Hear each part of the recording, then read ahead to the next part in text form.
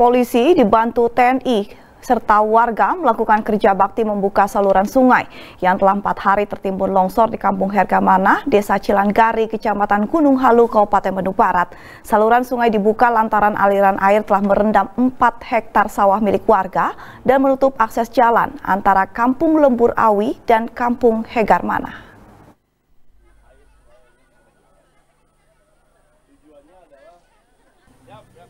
Rabu siang ratusan personil polisi dibantu TNI beserta warga dikerahkan untuk membuka saluran sungai yang tertimbun longsor di Kampung Hegarmana, Desa Cilangari, Kecamatan Gunung Halu, Kabupaten Bandung Barat.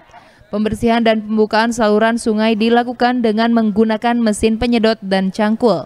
Ditargetkan perbaikan aliran sungai dilakukan secepatnya, maksimal tiga hari agar aktivitas warga bisa kembali pulih seperti biasa.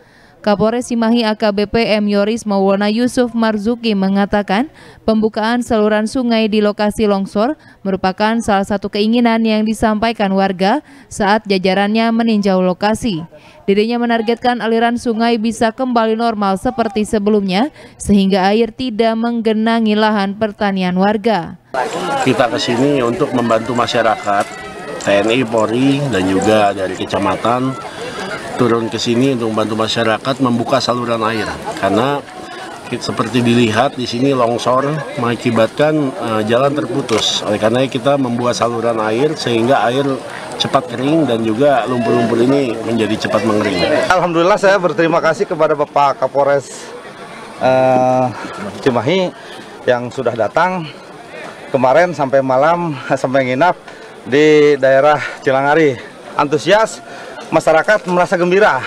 Polres Cimahi bersama tim gabungan telah menyerahkan bantuan berupa sembako kepada warga terdampak serta mendirikan tenda penanggulangan bencana sebagai upaya antisipasi terjadi longsor susulan. Algi Muhammad Gifari, Bandung TV.